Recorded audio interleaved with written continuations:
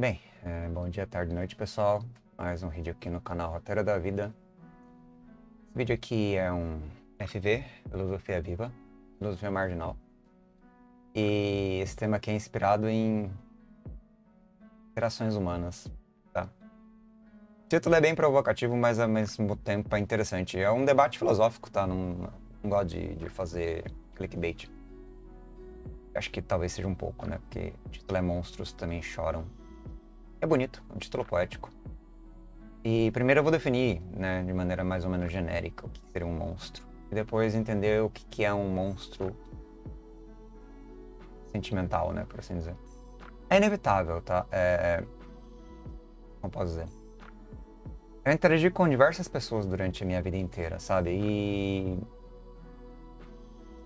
as pessoas mais monstruosas às vezes são as mais humanas.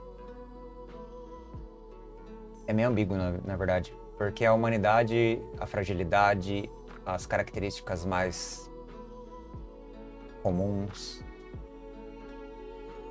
e algumas outras características também diversas, elas geram ações, né, é, ações no sentido de tomadas de visão de mundo mesmo, mas tomadas práticas, na verdade, ações práticas, bastante desumanas, né?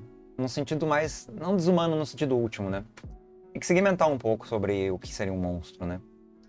Então, para mim, um monstro seria primordial, primordialmente, primariamente. Para você ser monstro, você necessariamente tem que ser humano.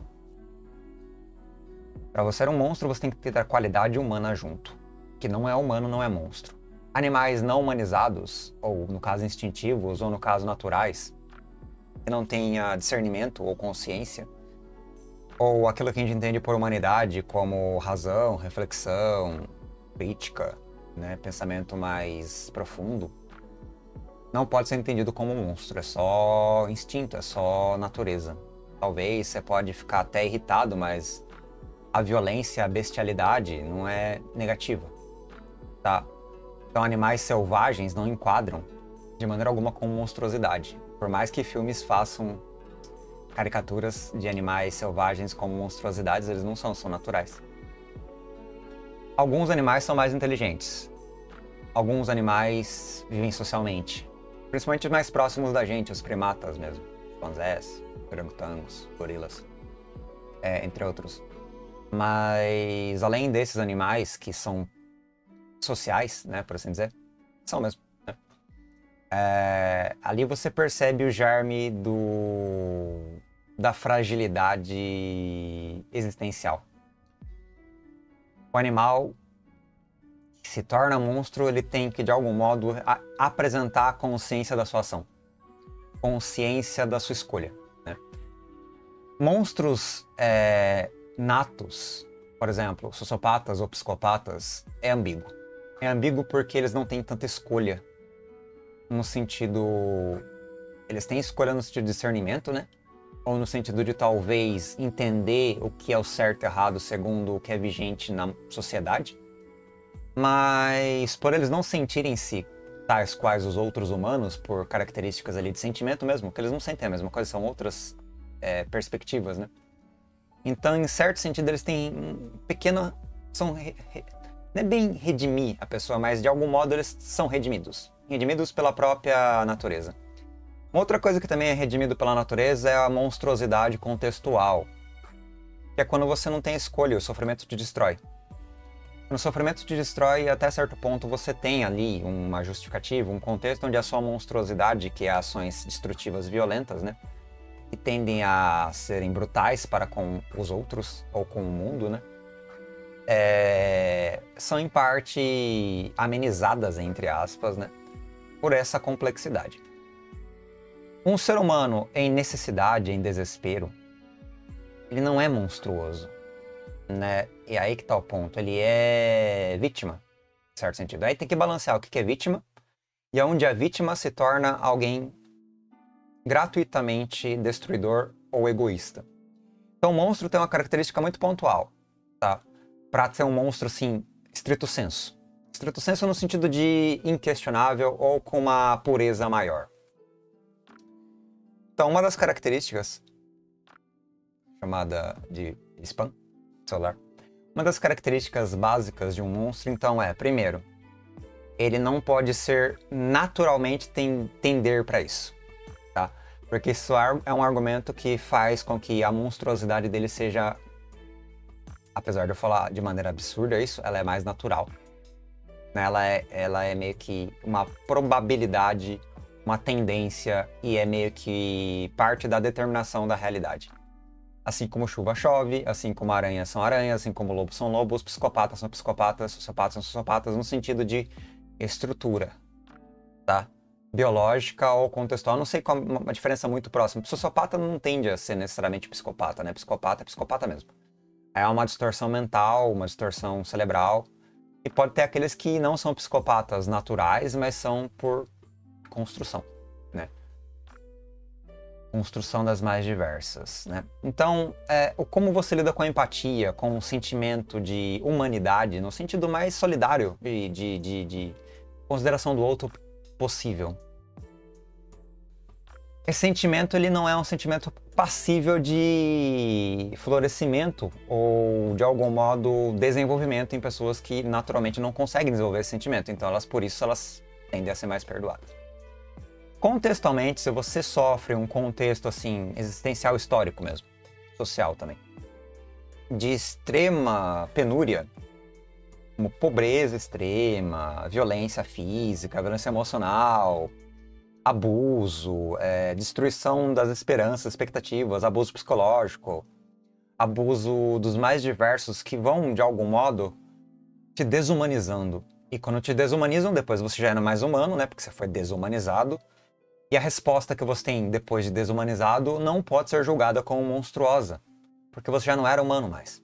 Entendeu? A sua humanidade ela foi dissolvida. Então a monstruosidade não encaixa na dissolução da humanidade por causa do da, todo um contexto ali de destruição do indivíduo. Tipo, uma pessoa que, por exemplo, vou dar um exemplo bem, nasceu no orfanato, foi abusado sexualmente, sofreu violência física, violência psicológica, medo e ansiedade constantes, não foi aceito e no futuro matou um monte de gente. Não é um monstro. Não pode ser um monstro porque tem toda uma carga de que ele não era humano mais. Já não era humano. Se perdeu a humanidade, não pode ser monstro. Esse é meu ponto, tá? Então ele é uma catástrofe natural, ou uma catástrofe induzida por por contexto.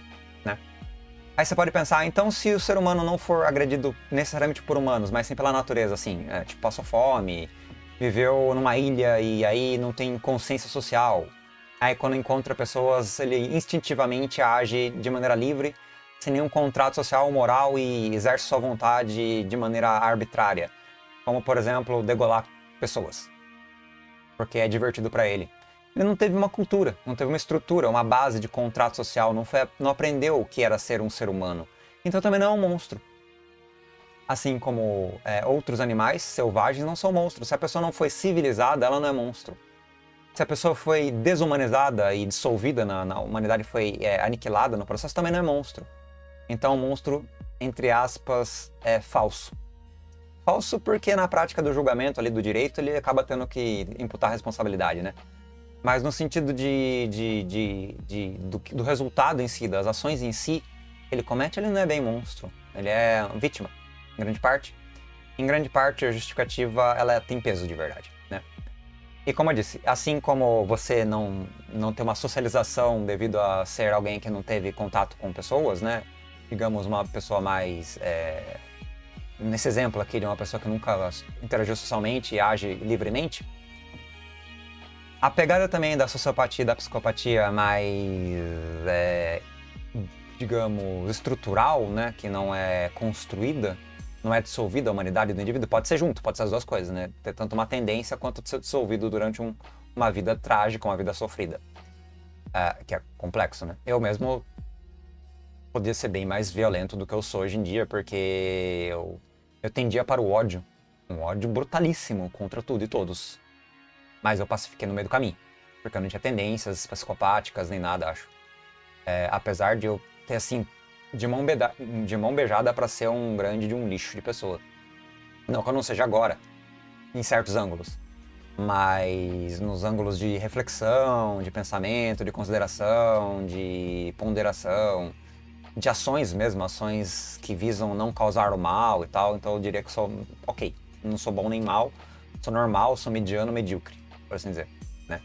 Então tô na média. Apesar de eu, mesmo dentro da média, tendo a ser muito bonzinho, muito gentil e muito é, caloroso ou abrangente e receptivo né?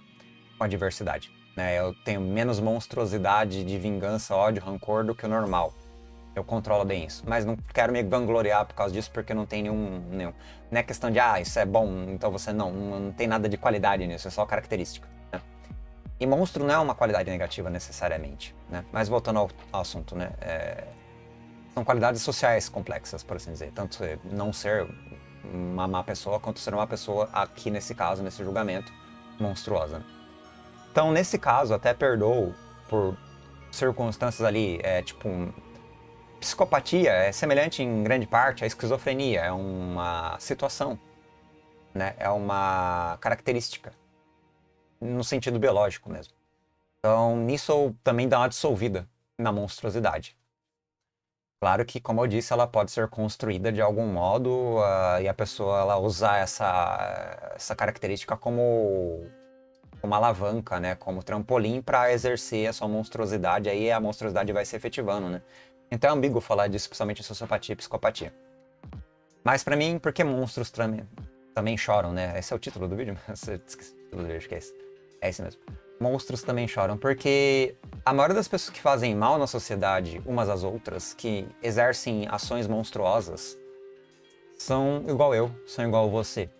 Somos nós, pessoas que não são doentes com esquizofrenia, com psicopatia, sociopatia, pessoas que não foram desumanizadas ao extremo, dissolvidas a humanidade ao extremo.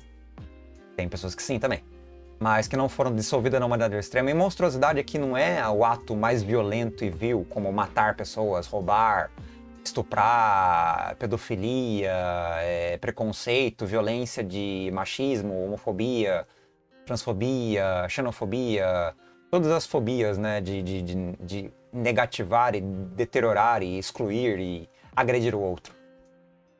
Essas características são monstruosas, são características sim monstruosas em grande parte são características culturais. A ambiguidade, porque ser racista, ser machista, ser homofóbico não é necessariamente uma postura de violência inata, é um comportamento adquirido. Comportamento que demora muito você purificar e modificar e alterar e atualizar e evoluir ou adaptar, né? Ou a palavra certa seria reconstruir, reconstruir, se reconstruir como ser humano. É muito complexo reconstruir como ser humano. Eu mesmo, racista, homofóbico, é, transfóbico em parte também. Eu só, eu só fui descobrir que pessoas trans existiam depois da faculdade, assim. Eu nem me ligava em trans. Eu não sabia, nunca pesquisei essas coisas. Aí descobri que era transfóbico na prática. Por incompreensão. Daí você entende e tenta não exercer a violência e tal. Mesmo que você não seja perfeito. E é difícil tratar com as diversidades porque você nunca sabe se está sendo de algum modo é, aquele negócio é quando uma pessoa é deficiente, ser capacitista, né? Você não aceita a pessoa como ela é e de algum modo interage com ela não como igual por causa das características que ela possui. É um capacitismo no sentido transfóbico de comportamento. Você se comporta de maneira diferente porque não consegue não consegue enxergar a pessoa como uma pessoa entre aspas e é grosseiríssimo e ainda sou transfóbico, racista, tantas coisas causa disso, né? Porque não racista nem tanto, mas é, não trata a pessoa normalmente, sabe? Tem dificuldade em interagir uma conversa normal, assim. Não que você exclua ou tenha preconceito, mas de algum modo você não não flui bem, você tem uma você pisa em ovos, sabe?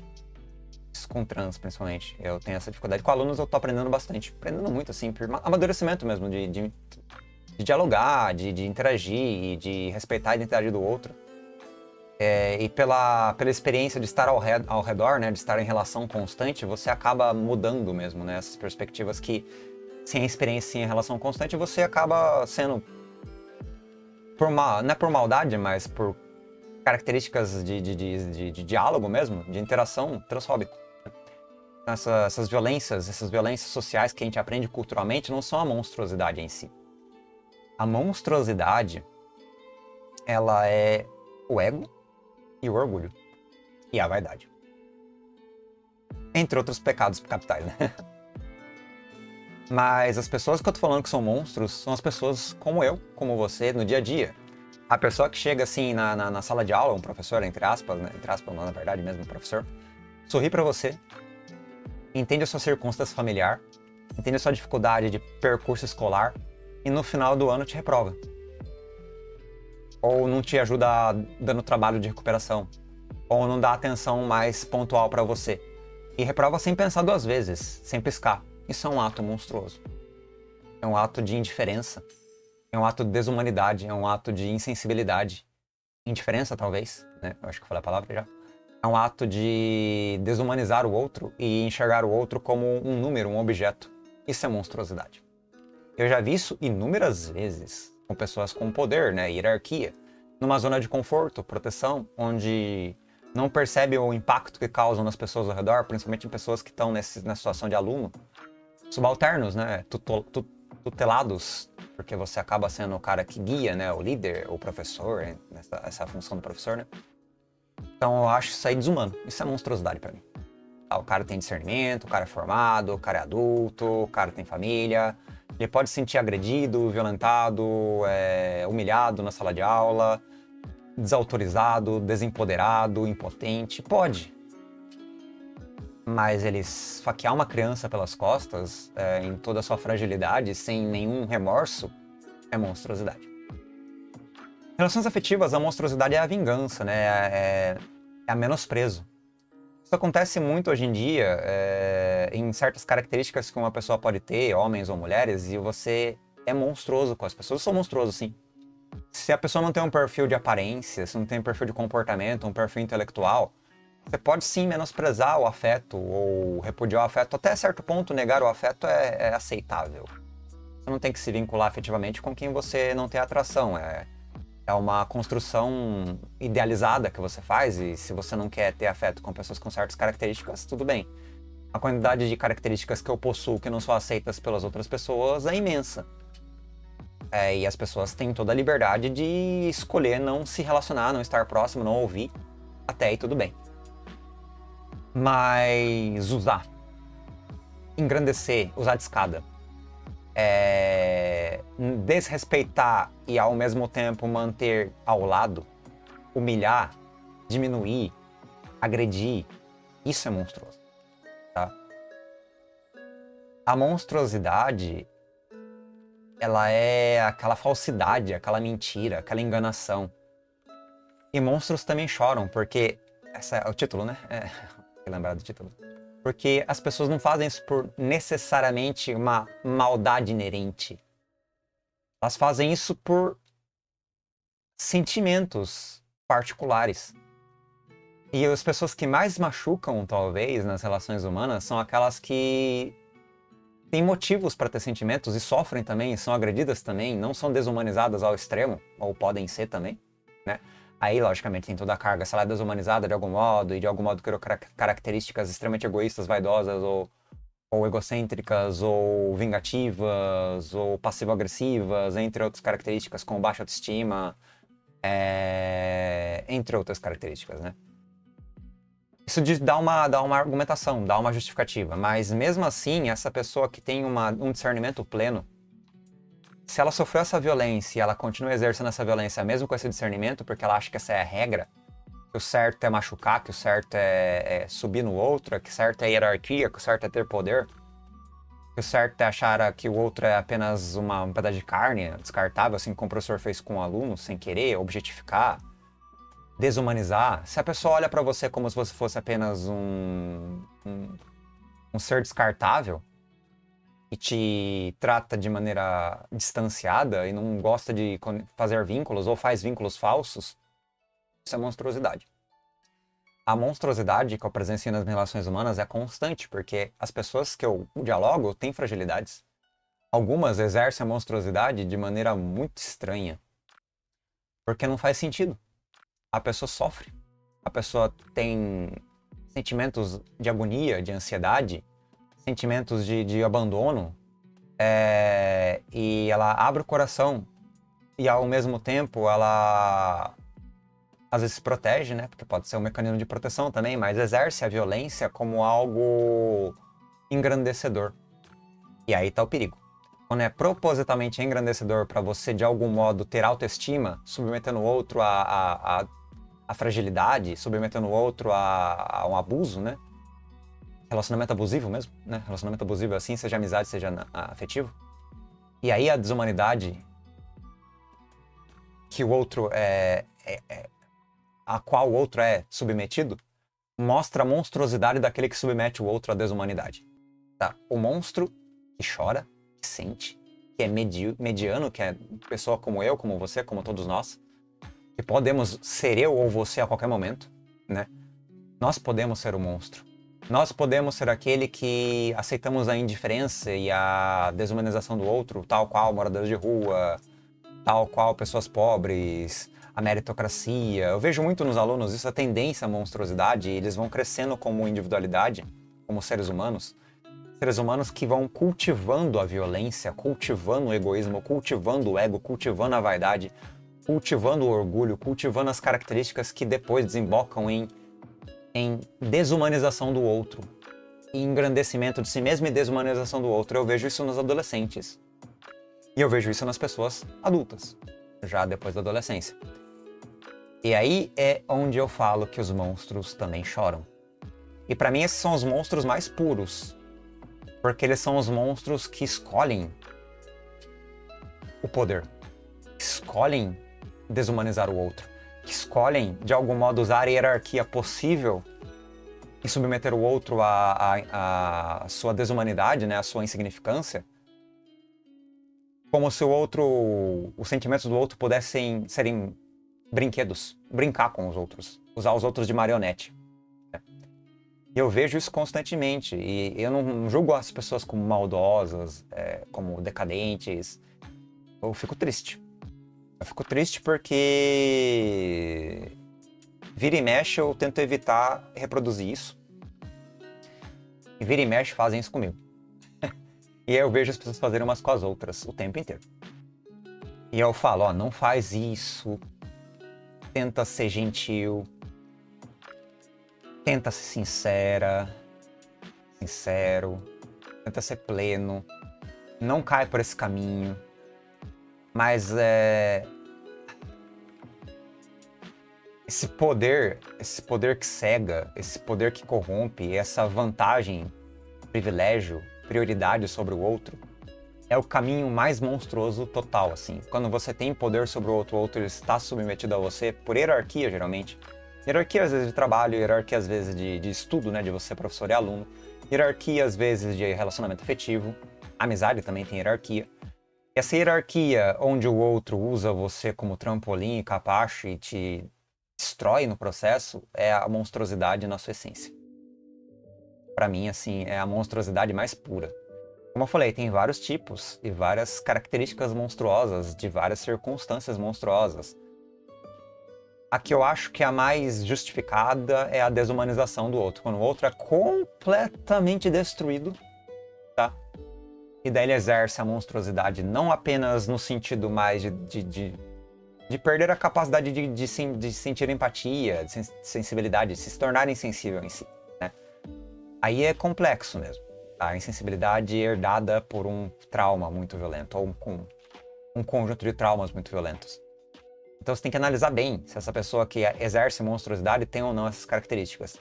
Mas em grande parte, é, se ela não, não apresenta justificativas, ela escolhe ser monstruosa.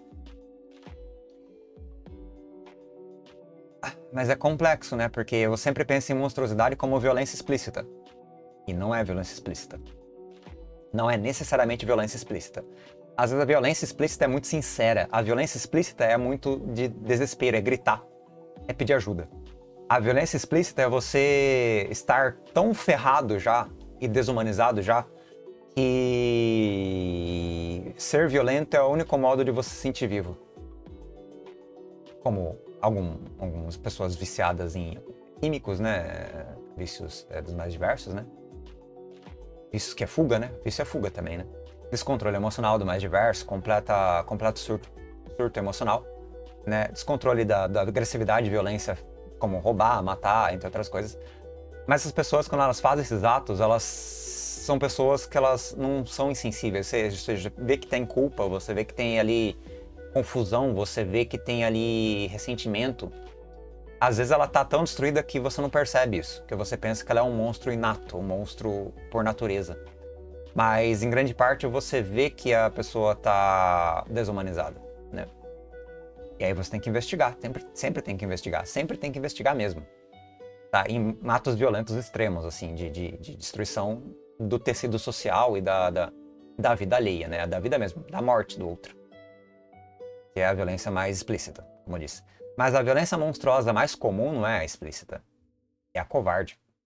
É a violência onde o outro tem que estar ali para ser usado. Como recurso mesmo. Onde o outro é apenas uma, uma das minhas posses. Um dos meus brinquedos. Essa é a violência monstruosa que eu acho a mais nociva e a mais difícil. Tá? É a mais nebulosa, cinzenta. E a mais comum. Muito comum. É comum e é inimputável. É inimputável porque não tem como você criminalizar. Não tem como, é, além que você se debata, agrida, brigue, xingue, ofenda, se rebele, né? Mas é um trauma de conta-gotas. É, é um corte na pele que cicatriza. São vários cortes que vão lesionando que vão causando é, sequelas. Sequelas cumulativas de relações humanas porque as pessoas desumanas te machucaram. Mas não, desumanidade não é uma coisa 100% o tempo inteiro também. A pessoa ela é desumana, mas ela chora, como eu disse. Então ela é um humano, porque como eu disse, para você mostrar precisa ser humano, sentir, precisa ser normal, assim, né? E daí esses cortes que você vai causando através da, da violência do dia a dia, essa desumanidade que você vai expressando ao machucar os outros, é em si a incapacidade de lidar com, com essa complexidade das relações humanas. E aí, como eu disse, vai sequelando a, os outros ao redor. E essa sequela nos outros também, por sua vez, é um efeito bola de neve, um efeito cascata. E isso vai rompendo o outro. E o outro também, por sua vez, pode fazer a mesma coisa com outras pessoas. Então a desumanidade é como um vírus. Ou a monstruosidade é como um vírus. Então a monstruosidade, ou os monstros também choram, somos nós. É eu, você. É você que destrói a natureza ou menospreza a natureza.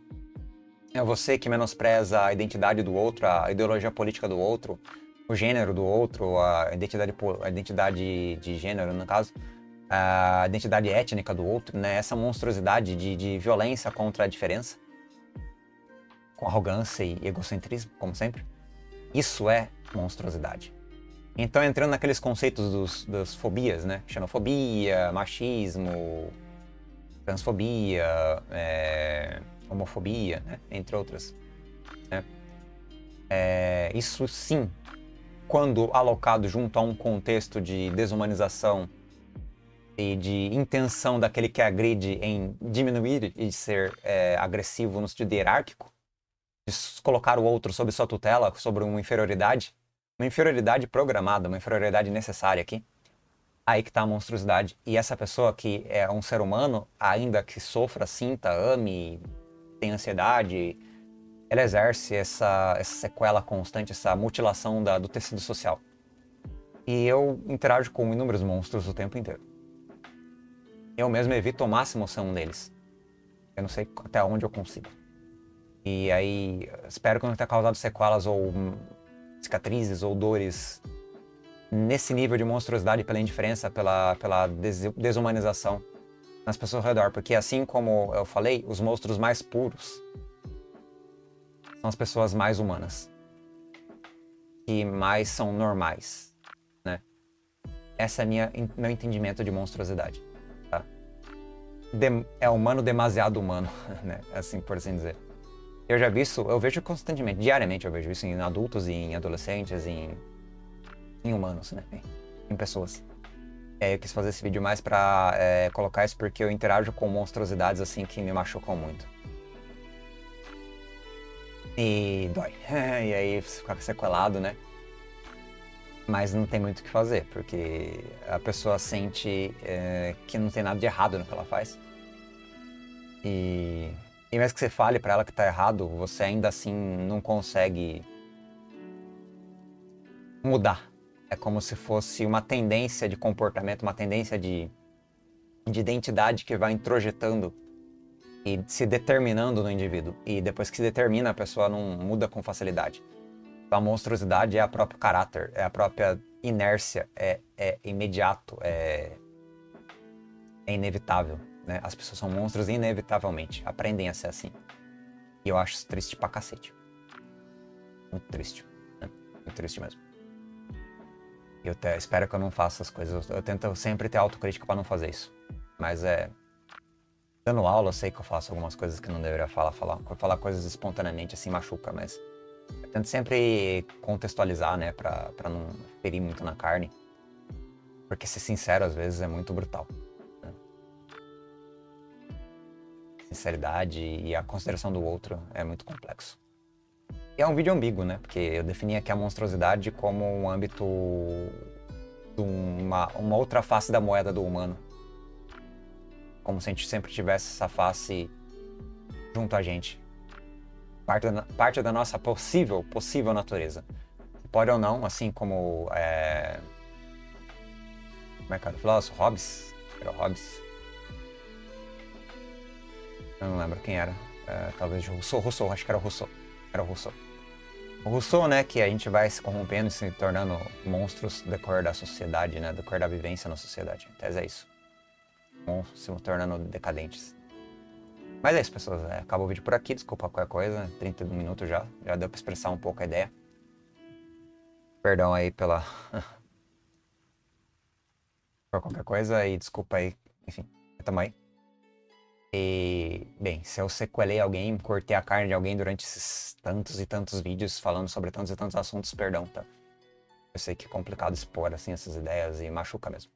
E ainda mais quando eu debato ideias, né? Não quero ofender pessoas, mas ideias machucam. Tá? Então, mouse aí. Eu tenho que escolher, eu me expresso ou eu não me expresso. Eu acabo me expressando mesmo com as consequências que isso carrega. Mas eu não faço com a intenção de destruir o outro. E a monstruosidade seria intencional, no caso. Intencional no sentido de ego, de privilegiar a si mesmo. Eu não privilegio a mim mesmo, eu só estou debatendo ideias. Né? É uma espécie de argumentação justificativa para não ser, me considerar um monstro? É, também é. Autojustificativa, uma fuga? Talvez. Talvez. É, aí é complicado. Você não pode julgar a si mesmo, né? Juiz de si mesmo, por assim dizer. Isso é complexo. Mas é isso, agora eu vou mesmo. Até depois aí, falou. -se.